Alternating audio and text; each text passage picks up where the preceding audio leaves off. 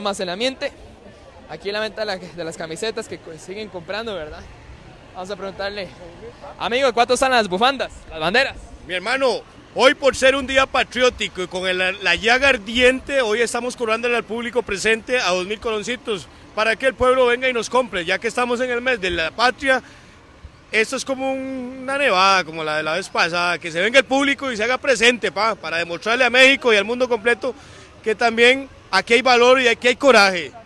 Perfecto, bueno, lo dejo porque ya viene una selección. Yo creo que vamos a ilustrarles a ustedes las imágenes de la llegada de la selección nacional. Ya voy, ya voy, ya voy.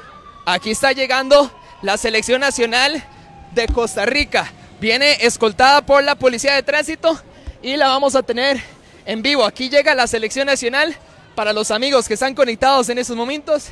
Ahí presenciamos la llegada de la Selección Nacional de Costa Rica, que por supuesto llega escoltada por diferentes personeros de la Fuerza Pública y por supuesto también de la Policía de Tránsito. Pues